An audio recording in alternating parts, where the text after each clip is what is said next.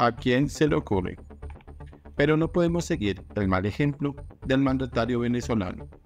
Cuando un pueblo se pronuncia en unas elecciones limpias, la democracia obliga a respetar la voluntad del pueblo. Columna de Juan Gómez Martínez. Solo a unos despistados se les puede ocurrir que, en una democracia, los resultados electorales que no favorezcan al gobierno del turno se puedan repetir. Esos despistados son López Obrador, Lula da Silva y por supuesto nuestro presidente Gustavo Petro. La almendra de la democracia sin duda alguna son unas elecciones libres. No es admisible que cuando esas elecciones no favorecen al gobierno del turno se deban repetir.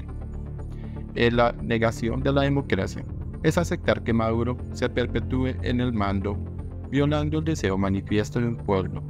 Es la muestra de que nuestro, en mala hora, presidente quiere también perpetuarse en el poder.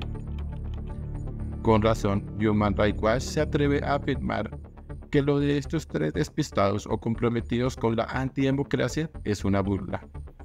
Y dice que en un sistema democrático los resultados electorales deben ser respetados y divulgados, y la propuesta de repetir las elecciones no hace sino perpetuar una crisis ya existente.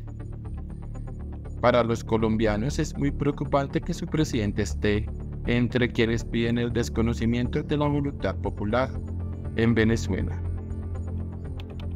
Esa actitud refleja claramente su deseo de que en Colombia pueda pasar lo mismo, cuando un pueblo descontento con su presidente de extrema izquierda pretenda perpetuar su política dentro de dos años. Si el pueblo se equivocó una vez y respetamos esa decisión de los votantes, no hay razón para querer perpetuarse en el poder. Hay que respetar la decisión del pueblo venezolano, como también la del pueblo colombiano hace dos años y la del futuro.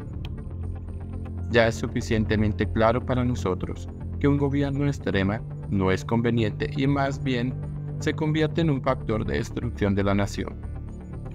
Nos tenemos que preparar para que dentro de dos años llevemos al poder a quien tenga la fortaleza y la capacidad para reorientar el rumbo de este país y recuperar estos cuatro años perdidos. Que nos sirva de ejemplo y experiencia el error cometido en las pasadas elecciones. Ya se mueven nombres de posibles candidatos. Ya podemos conocer sus propuestas. Ya vamos escogiendo al mejor y a quien reoriente una política equivocada para el desarrollo y futuro del país y de los colombianos.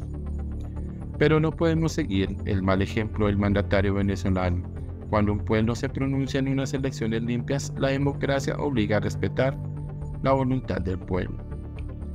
Tenemos aún dos años de resignación y aceptación de una decisión, equivocada sí, pero por la voluntad del pueblo.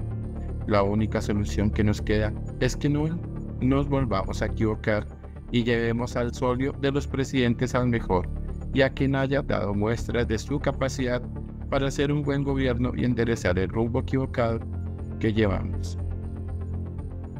De la mano de Dios y de la voluntad de un pueblo llevaremos al mejor de los colombianos para que se corrija el error cometido en las pasadas elecciones.